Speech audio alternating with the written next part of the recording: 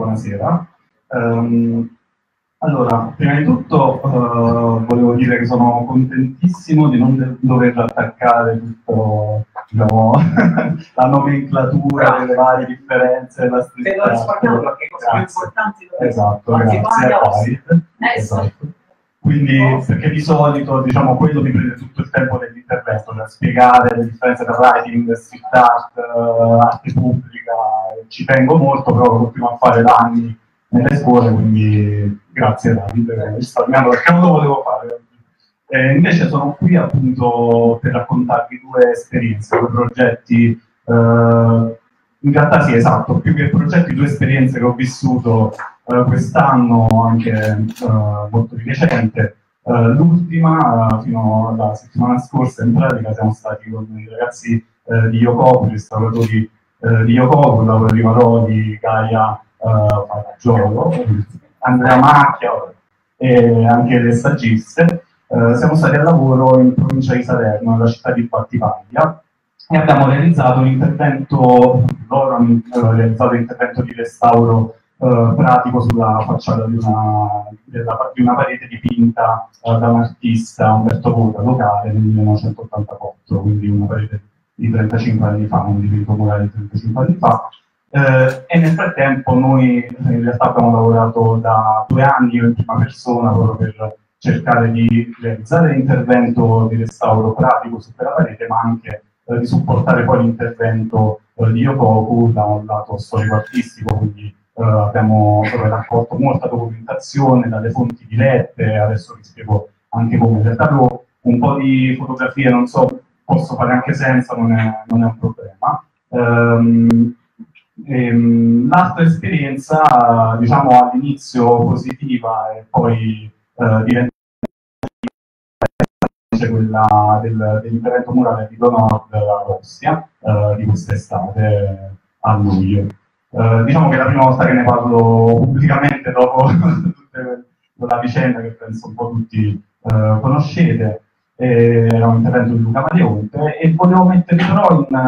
a confronto questi, queste due esperienze, questi due uh, progetti. A confronto perché in realtà sono entrambi progetti che sono nati, si è parlato molto di comunità, ecco, infatti un po' di fotografie, poi abbiamo quelle anche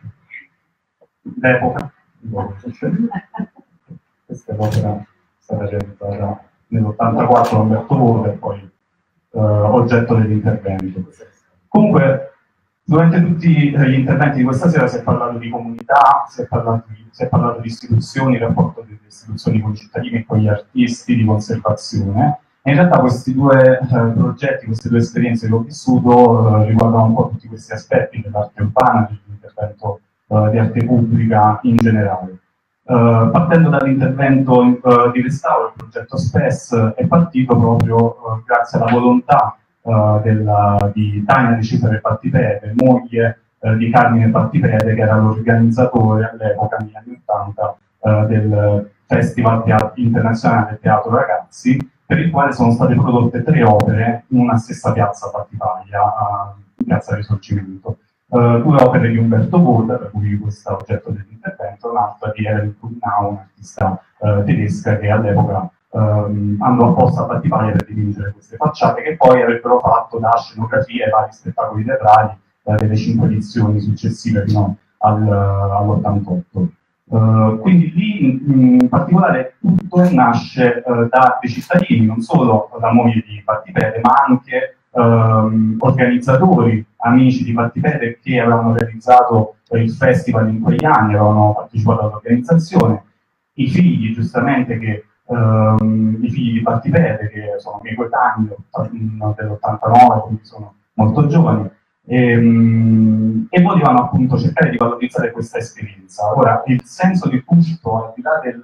um, del, dell'eccellente risultato che hanno ottenuto i ragazzi di proprio con l'intervento pratico sulla, sulla parete che ha ridato davvero eh, colore a, a, questo albero che simbolicamente eh, molto identitario, se dico, eh, molto dalla popolazione locale, forse eh, a livello storico-artistico è legato comunque a un momento eh, veramente particolare, eh, soprattutto per l'arte murale del, del meridione, uh, se pensiamo tra l'80 e l'85-86 in zona nel Salernitano ma anche più uh, a sud e poi nel Cilento ovviamente ci sono stati molti interventi, era una, uh, un momento molto attivo degli artisti sia locali che um,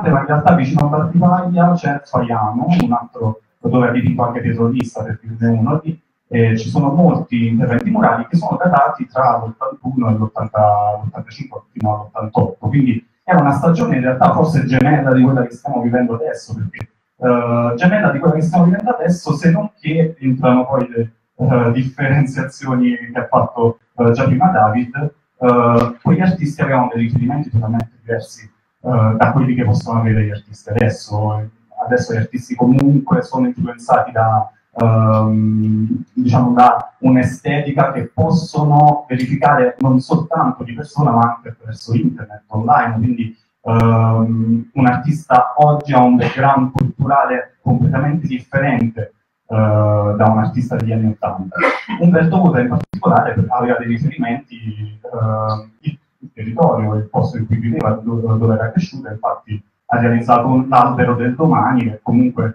Uh, nella sua uh, chioma conserva tutti i frutti, gli ortaggi del territorio, ci sono pomodori, ci sono le fragole, ci sono le arance, uh, i melograni, quindi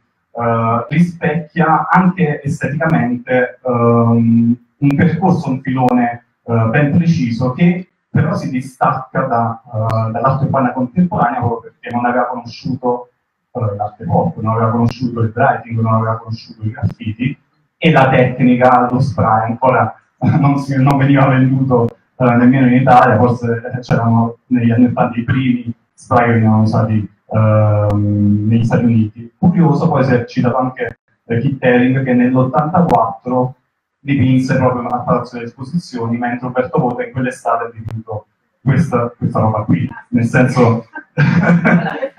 diciamo che l'influenza e anche un po' forse le coincidenze, se vogliamo, uh, hanno portato poi uh, questa, questa, opera pittorica ad essere uh, ritenuta identitaria, importante anche a livello storico-artistico dalla sovrintendenza di Salerno e Avellino che si è interessata a questo progetto perché un fascicolo e sta aspettando soltanto il nostro materiale per poter archiviare e diciamo l'intento è poi quello di tutelare l'opera, non solo quella ma anche le altre due. E quindi tutto però il motore di questo progetto è nato proprio dai cittadini, eh, diciamo che la, mm, l'amministrazione locale, la regione che ha patrocinato la provincia, sono stati marginali rispetto all'intervento, anche grazie comunque uh, ad, un, ad, una sponsorizzazione privata, una cooperativa agricola, poi nemmeno proprio apposta, uh, che ha sponsorizzato l'intervento. Quindi in realtà uh, in quel modo, in, quel, cioè in questo caso, i cittadini sono stati realmente i fautori eh, dell'intervento e sono stati anche non improvvisati perché hanno contattato noi come associazione che si occupa di arte urbana, come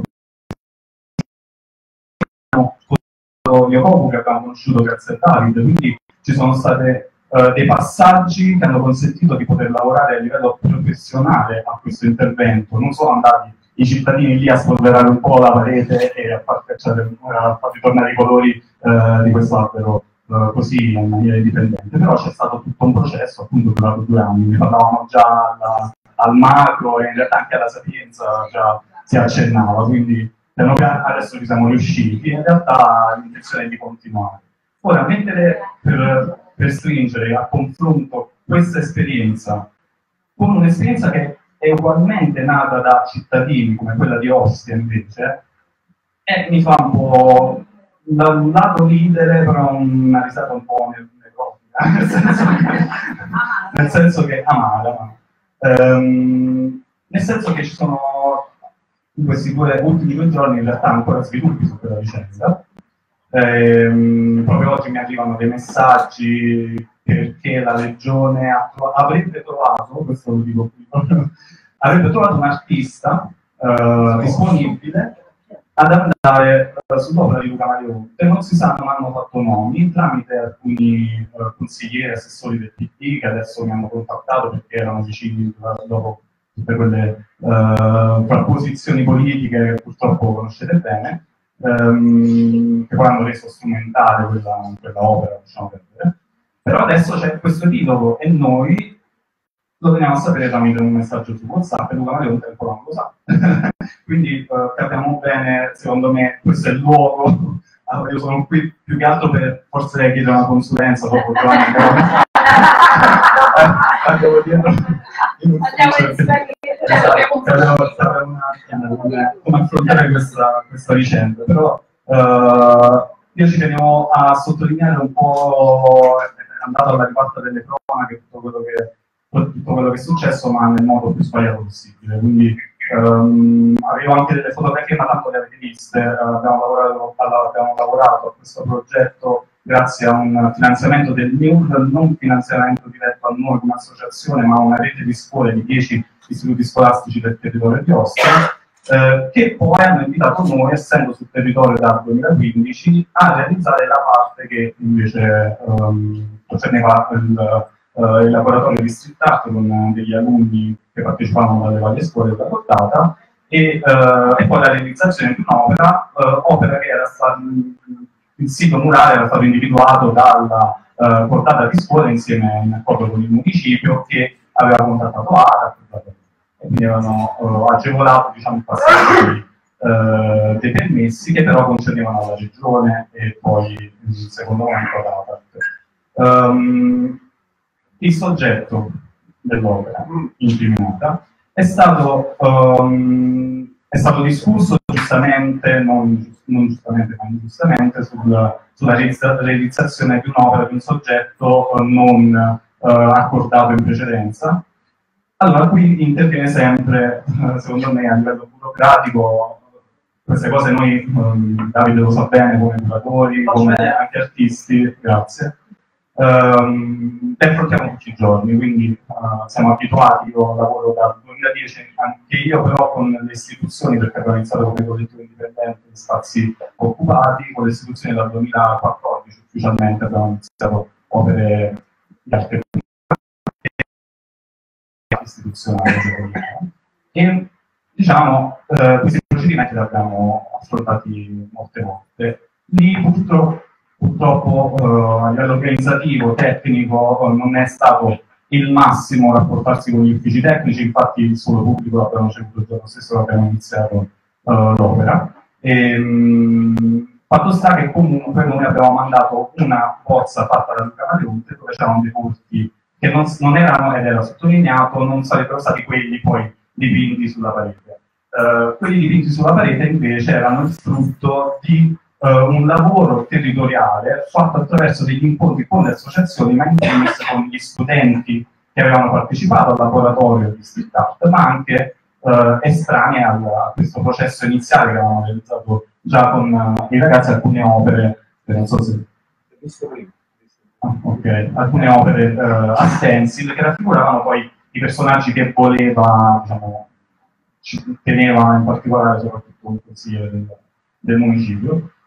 Consigliere che ha valorato invece poi la tesi di alcuni cittadini indipendenti che hanno fatto scrivere su giornali locali che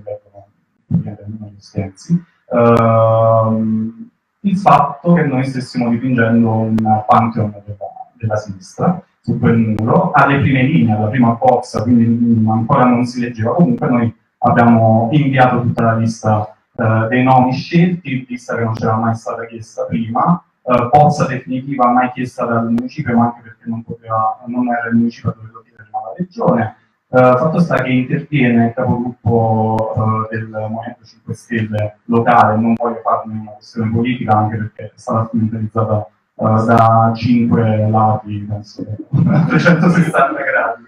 non c'è problema su questo. E, um, e quindi ha, valor ha, valorato le tesi, le voci di cittadini singoli, purtroppo a livello istituzionale, ha istituzionalizzato no, il fatto che noi stessimo dipingendo un muro dedicato alla sinistra di Ostia, cosa che invece non è vera. Adesso non sto qui a spiegare tutti eh, i soggetti dell'opera, ma eh, se volete andare ad approfondire ognuno dei